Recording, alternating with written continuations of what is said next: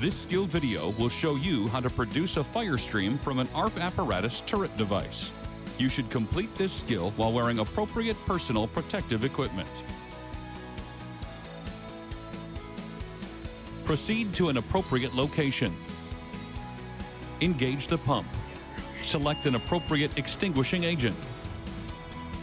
Make sure all gauges and valves on the in-cab pump panel are in working order.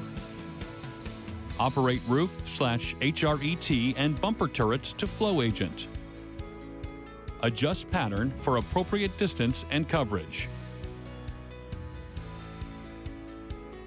Drain the pump and lines.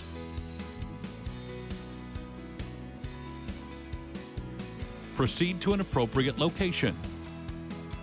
Make appropriate connections to an appropriate water source, a hydrant, a pumper, a tender.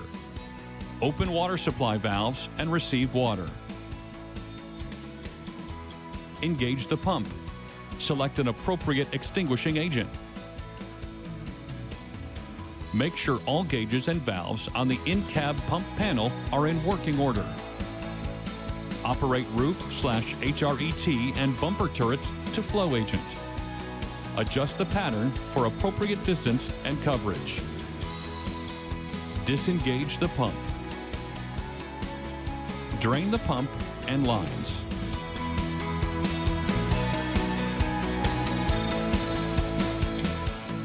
Proceed to an appropriate location.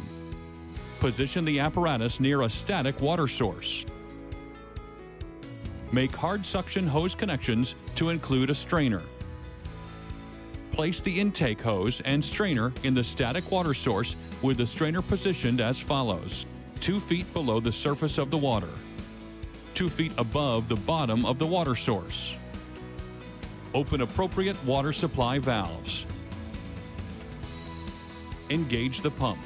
Select an appropriate extinguishing agent. Operate the priming pump in accordance with manufacturer's instructions until draft is achieved. Operate roof slash HRET and bumper turrets to flow water. Adjust the pattern for appropriate distance and coverage. Drain the pump and lines.